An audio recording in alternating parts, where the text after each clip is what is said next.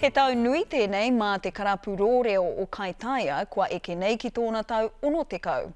Hāunga ngā taumahatanga o te mate Karauna e korikori tonu ana ngā whakahaere ki taua karapu, ā, i tēnei wā tonu e whakatika ana ngā mema o te karapu ki tētahi takunetanga ka tū ki tō rātou papatipu a ngā rā e tū mai nei. Ka pai, nō reira, kia horo!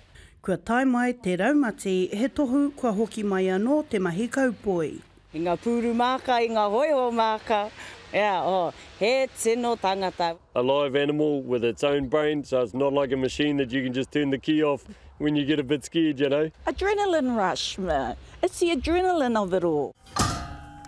Nā, e whakarite ana a Steve Morey mā i te whare tapere mō te whakataetae kaupoi e haere ake nei. Maha ngā tau, maha ngā, ngā tāngata kua, kua hiki tēnei kaupapa mō tātou i ngā tau kua pāhure mai, nō reira, ināia tonu nei kua riro ki a tātou nei hei kawe tēnei kaupapa mō tātou nei tamariki. There's a huge Māori representation New Zealand wide. We've got our local Māori cowboys, you know, like the Lanigan boys that are, that have really excelled. E 60 tau te roa o ngā mahi a te karapu nei ki te poipoi ngā pūkenga kaupoi.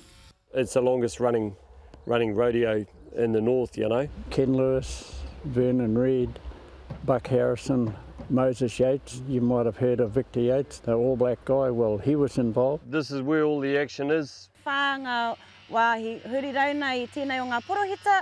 Ā, e mōhio ana a Sheree i te take i rata tēnei hākinakina ki a ia.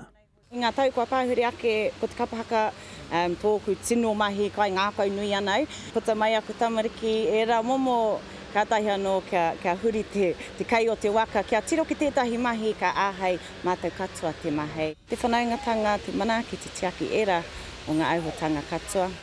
Hei āpōpō, hei te waru kara kai te ata, tūwhera ai ngā keti ki te whare tapere kaupoi ki Kaitāia. Hānia Douglas, Te Karere.